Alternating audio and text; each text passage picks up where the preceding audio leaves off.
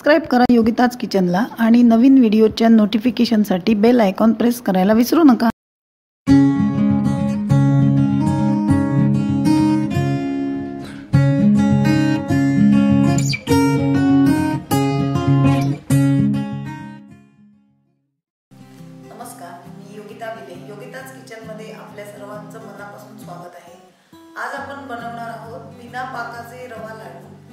झटपट तयार होणारे असे हे लाडू आहेत. म्हणजे कधी आपण कुठे जायचं असलं पटकन एकदम बनवून आपण घेऊन जाऊ शकतो.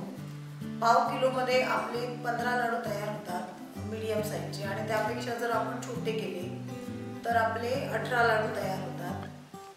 तर आपण बघूया की या लाडवासाठी आपल्याला काय काय साहित्य लागणार. रव्याचे झटपट लाडू बनवण्यासाठी मी हा दोनशे पन्नास ग्रॅम म्हणजे पाव किलो रवा घेतलाय.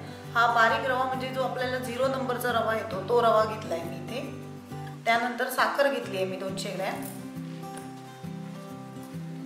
आणि पन्नास ग्रॅम साजूक तूप घेतलंय. बेदाणे घेतले आहेत मी लाडवाला लावण्यासाठी आणि एक टीस्पून मी वेलचीची पूड घेतली आहे. आपण एक कढई गरम करत ठेवली आहे. त्यात आपण हे तूप घालणार आहोत.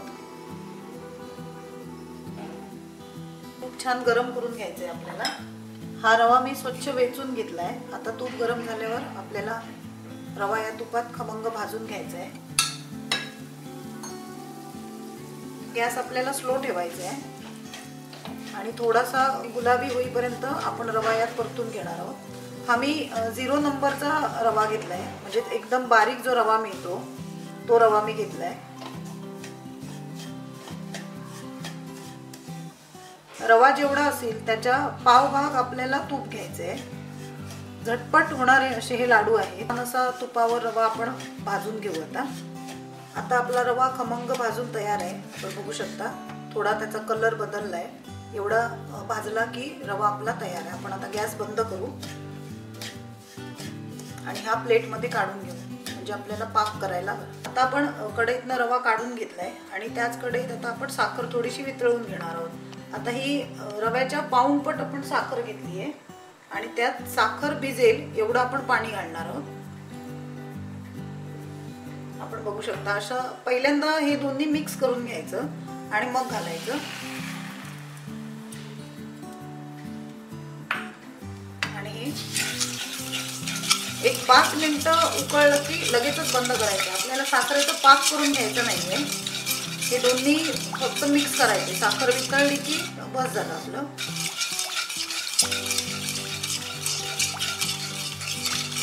आता आपलं साखर आणि पाणी छान मिक्स झालंय. आपल्याला याचा पाक करायचा नाहीये. फक्त हे दोन्ही चांगलं मिक्स करायचंय. हे आता आपण बघू शकतो. आता याच्यात असे अशा प्रकारचे बुडबुडे आले की आपण यात वेलची पूड घालणार आहोत. आणि मिक्स करणार आहोत. म्हणजे आपलं साखर पाण्याचं जे मिश्रण आहे त्या पूर्ण मिश्रणाला वेलचीचा वास लागेल. आणि गॅस आपला सुरूच आहे. तोपर्यंत आपण आपला जो खमंग भाजलेला रवा आहे तो यात घालायचा आहे.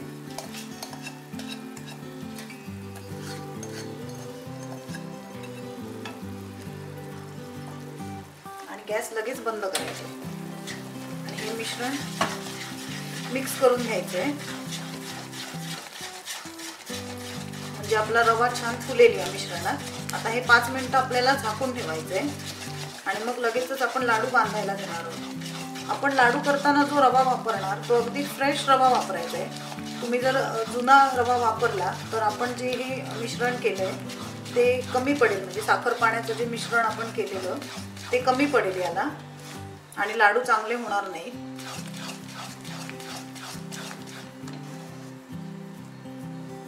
आता हे आपण झाकून ठेवू.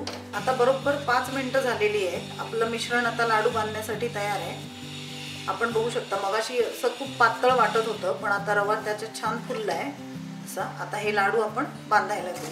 आता आपला रवा छान फुलला आहे बघू शकता आपण. आता आपण याचे लाडू करायला घेऊ.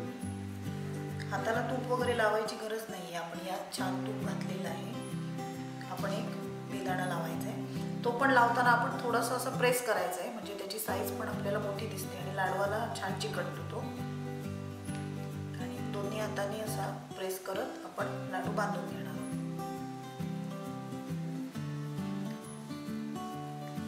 छान खमंग असे हे लाडू आपले लगेच तयार होतात.